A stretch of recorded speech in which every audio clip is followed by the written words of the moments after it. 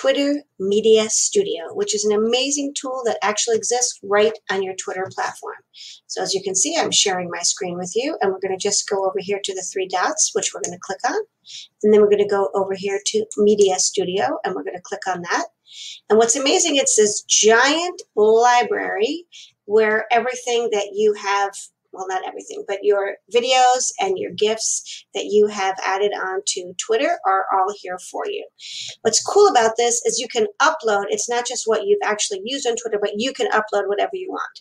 So it takes time to upload. I'm just going to show you how to do it. You hit over here, upload, and then just like anything else, you get your, you know, wherever everything that's on your computer and you can do that. But I already did it because I don't want to waste your time. So here's what I just uploaded, our team media, our team vi uh, video. And I'm going to show you the exciting things that you can do with it. So the first thing you can do is you can change the title, which is really great. I don't want it to say with subtitles. I'm just going to say make a team video. And this is another cool thing, so that was really easy. I can change the thumbnail. I can scroll through it and just decide what makes a good thumbnail. Thumbnail. So let's see. Uh, oh, I think that looks good. Uh, create an awesome team video, even when everyone's working remotely, even when no one in your company, whatever, but that's okay. So I'm going to choose that. I like that as my thumbnail, which is great. And when they look at it, they know it's create an awesome team video. Then I go down here and I have settings. So I have the title and I'm just going to call it um, uh, make a team video, make a team video, and then I'm going to describe it.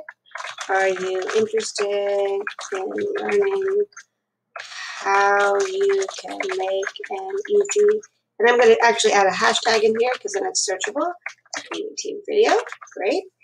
And then it gives me a drop-down list. I don't get to choose this myself. I'm going to say this is digital creators uh, could be entertainment and pop culture. I wish they had education in here, but they don't, so I'm just going to go with digital creators. And then what's really exciting here is a call to action.